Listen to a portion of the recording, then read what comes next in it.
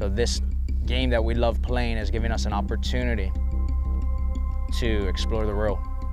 As you guys know, if you know anything about women's soccer, the women's game has changed. There's a lot of good soccer right now in Spain. You'll see that the game has evolved in Europe and South America on the women's side.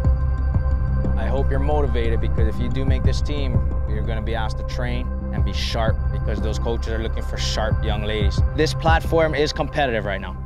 Have to start getting out of our comfort levels in training. We train too soft here in Hawaii, but then we want to go play there? Can't happen. We have to set the mood here, create the platform, create the environment. We're going to challenge you right now in this here. I want to see you soccer players here. I want to see more than just dribblers, but you're trying to show what you can do right now. Your attitudes, your technical ability, your technical speed, your tactical speed. So if you have a dream of being there at the academies in Barcelona, at Madrid, Valencia, and see what it's like to be on that level, if that is your goal and that is your dream, you must express yourself.